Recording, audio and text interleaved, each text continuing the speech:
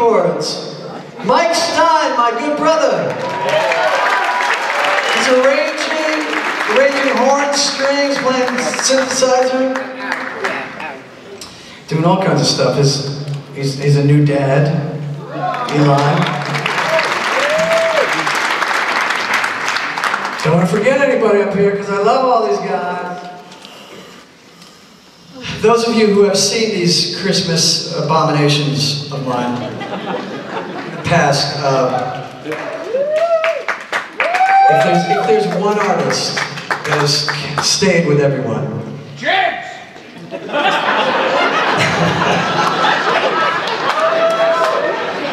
it isn't Jigs.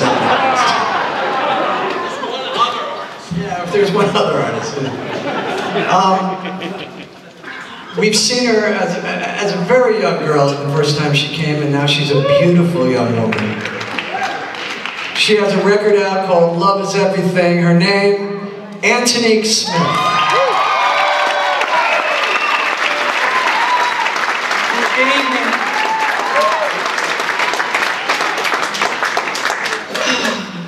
Since what, 1999 or something? 2000 at the bottom line? So happy to be here